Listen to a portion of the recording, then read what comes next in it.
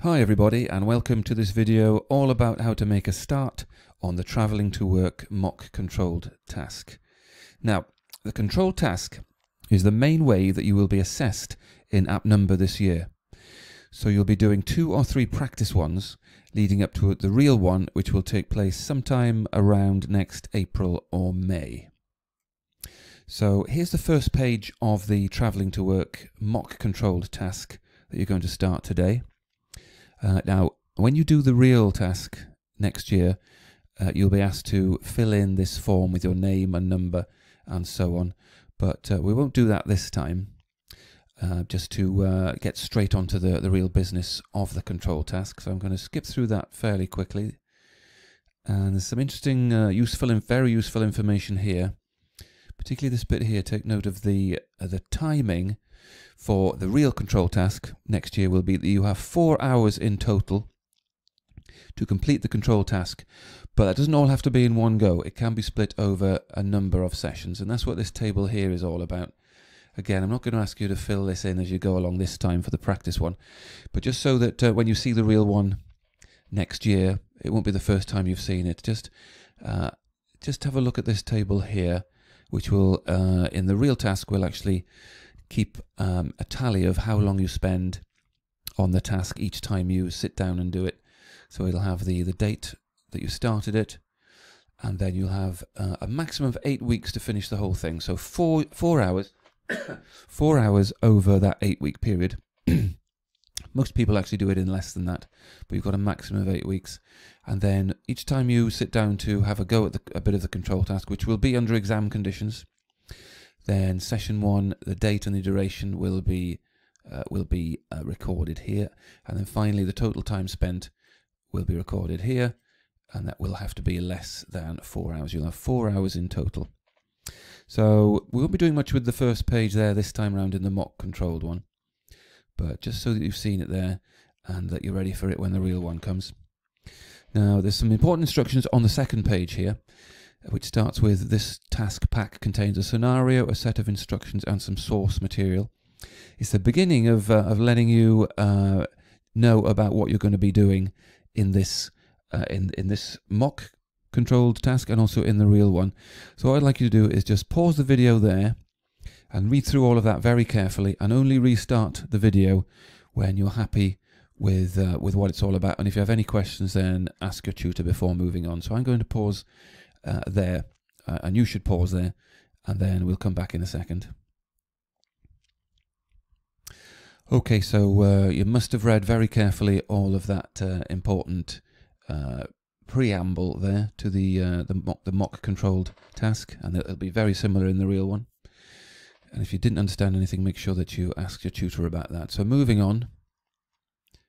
And this is where the actual task actually starts. Now you'll notice that there's a scenario and there is a part one and a part two and a part three in a second that I'll show you but we'll start from uh, from the top of this page here. Now each control task has a scenario which is basically the story behind that control task. Um, there are mock control tasks about um, a family holiday about traveling to work about buying a computer as well. The scenario of this particular control task is to do with advising a friend all about uh, whether to uh, invest in buying a car to get to work or to stay using public transport as he or she is doing at the moment. So um, it's a fairly simple scenario, and you'll be advising your friend who is considering buying a car to get to work instead of using public transport. And the aim of this whole task, the whole uh, the whole control task, is to investigate the cost of buying a car, compare the cost of driving with the cost of using public transport, and make a recommendation based on your findings. And that's a very um, that pattern is very um, similar in all of the mock control tasks and it will be in the real one as well. Now, so have a quick read of the scenario there. It is, it is the beginning of letting you know what you're going to do. And what we're going to start on today is part one, which is uh, the plan. now, uh, you can't go straight into the plan. Before you start the plan, you must have read and understood the whole task really well. Everything you need to know is in these few pages, but there's a lot of it. So there's quite a lot of reading to do, first of all, even though this is a maths control task. There's a lot of reading to do as well. So what I'm going to leave you to do now is uh, from the paper copy that you will have been given, or there's a copy on the Google Classroom, or if you're you can't find either of those things, just ask your tutor.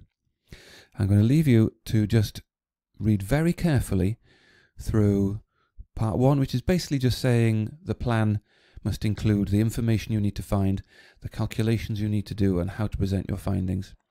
But in order to do that, you will need to have read through part two, part three, and then there's a series of of sources, sometimes tables, sometimes graphs, and other information that you will be asked to use as you work through the task itself.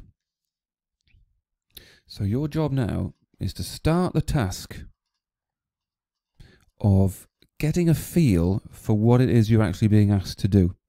Because although part one is do the plan, you can't do it unless you've really read very carefully and really understood what part two will be asking you to do and what part three will be asking you to do, and also what each of the resources is telling you.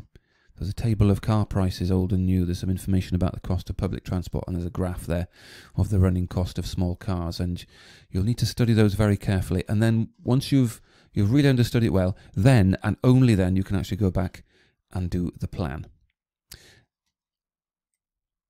And here's what your plan will look like. Here's an example one, not finished, but uh, just to get you started. And it has to be in the form of a table. And you can see the headings there. Uh, they reflect the three things that you're asked to do in in the uh, in the plan here. The information you need to find, the calculations you need to do, and how to present your findings. And they are they become your headings. And as there are three parts to the control task, then the labels in this first column are part one, part two, and part 3. But you can see from this that you can't even make a start on the plan unless you begin to understand uh, and have read very carefully the whole of the control task and have at least begun to, to work out exactly what it is they're asking you to do. For example, in, uh, in uh, the information you'll need in part 1, and part 1 is actually the plan itself, you need to find out how long the family wants to go on on holiday. This is for a this is for a, a slightly different one. This is for the holiday one but need to work out the cost of the holiday for 10 nights, etc. Now, you won't know, you won't have a clue what to write in here unless you've really understood everything uh, about the control task itself. Same with calculations you'll need to do and also how to present your findings. You'll need to talk about each of those three things for each of the three parts. So this is why there is a lot of uh, reading to do first of all. And then and only then can you really go back and start even considering doing the plan. So have a read through uh, everything really, right from page one, right through the instructions, right through the scenario, right through part one, right through part two, right through part three, and all the resources you're going to use.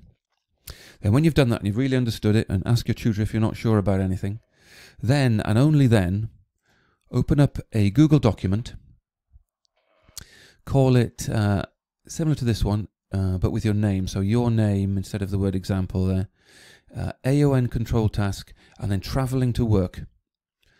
And then uh, create a table if you know how. If you don't, just give your tutor a shout. With these rows and these columns, and make a start on your plan. And plan is part one of uh, of the control task. Okay, everybody. So uh, that's the end of this uh, this first part of uh, a series of videos about how to do the traveling to work mock control task. Uh, if you haven't understood, uh, uh, if you've if you've understood it but maybe missed bits out, then go back and, uh, and watch it again until you've really understood it. And just remember that you can't really start doing your plan until you've really, really understood every bit uh, of the actual control task itself, and then you start your plan. Okay, do the very best you can. Give it your best shot. Any problems, ask your tutor. And I'll see you on the next video.